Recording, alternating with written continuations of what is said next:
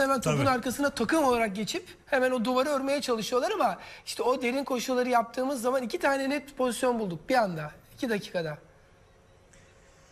Joseph de Souza çizgide pas bekleyen Hasan Ali var. Joseph Hasan Ali ile oynadı. Hasan Ali'den pas yerinden Joseph araya girdi. Savunma.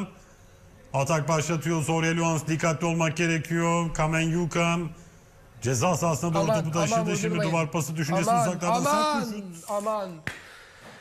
Ya bir ağlara şutta a- ya tek şutları var. Kaleyi tutan o da gol oldu ya.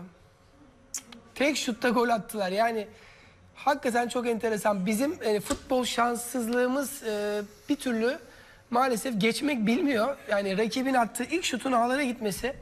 Yine Bursaspor Fenerbahçe maçında da ilk şutları gol olmuştu. Yine bu- haydi şu tribünde biz gol sevinci yaşayalım. Keya vurur mu? Orta mı yapar? Kaleci dikkatli Şevçenko. Simon Keya. Gözler Keya'da. Simon Keya vurdu baraj. Simon Keya. İkinci şut. Gol! Gol! Simon Keya. Beraberlik golü. Fenerbahçe beraberliği yakalıyor. 90. dakikada. 90 artı 5 sayılı. Fenerbahçe beraberlik golünü yakaladı. 90 Sen- artı 5'te Fenerbahçe Kaya ile beraberliği golü beraberlik golünü buluyor.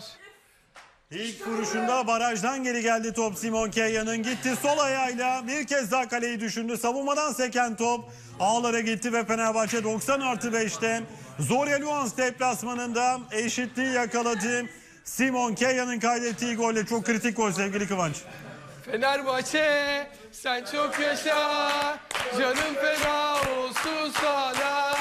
hiçbir şeye değişilmez seni sevdiğin bu dünyada.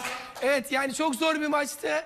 Bir puan dedik en azından bu maçta altın değerinde dedik ve o golü de bulduk çok şükür. Evet maçta da son düdük geldi 90 artı 5'te Simon Keya'nın kaydettiği gol.